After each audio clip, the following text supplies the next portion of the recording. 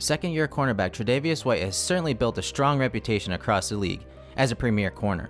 He's a versatile player, but one that plays in a very well coached and coordinated defensive scheme.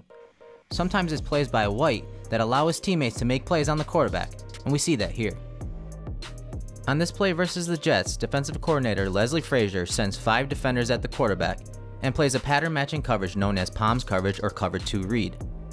The corners White and Levi Wallace are reading the number 2 receiver to their side. If the number 2 receiver goes vertical past the linebacker level, it becomes man coverage and White will take the number 1 receiver with Taron Johnson, the quasi safety here, taking the number 2 receiver.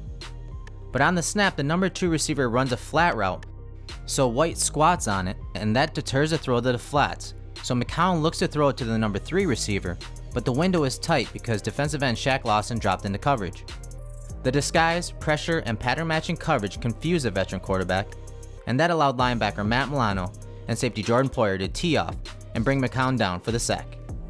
The Jets were forced to punt and ended the game 1 for 12 on third downs and were only able to muster up 10 points. It was pretty clear the Bills defense had the Jets number on this day. Back down to the field we go. You scratch your head about the play call. It's third down and seven as Crowell did not get any on that last carry. McCown out of the shotgun looking right pressure coming and McCown is sacked. Matt Milano made the initial hit. His teammates finish off McCown. And once again, the Jets go three and out.